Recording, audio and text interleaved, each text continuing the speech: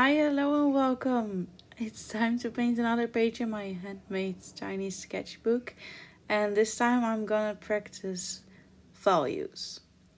So, you see me painting a Studio Ghibli painting, and that taught me that values and shapes are very, very important. And so I thought it was time to practice a little bit more with those values.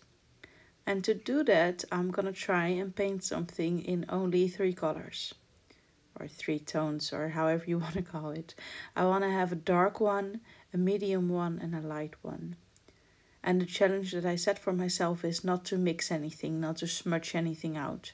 I can use dry brush technique, that's no problem, but I'm not gonna go over it with water, blending all the edges together, which is what I normally do.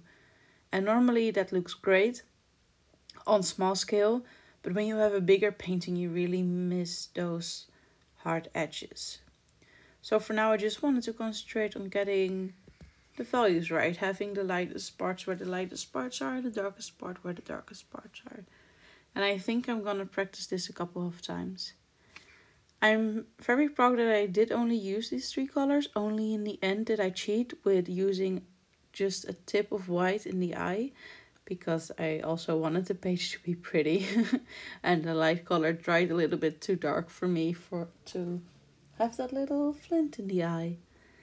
So yeah, that's what I'm doing here. I highly recommend doing it as well. I learned a lot from this and from close by, maybe it doesn't look that great to me, but when I leave my sketchbook open and return to it, uh, from a little bit farther away, it looks really good because it has that high contrast and it has all those values right.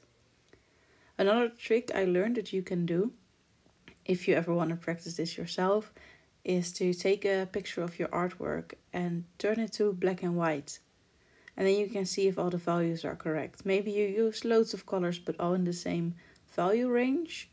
So then if you turn it to black and white, it will just look like a gray smudge. And if you had the values right, you have dark darks and light lights.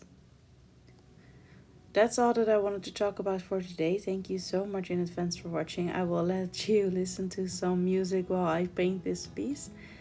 Um, yeah, you really don't know how much it means to me that you're watching this. So thank you again. And see you next time. Goodbye.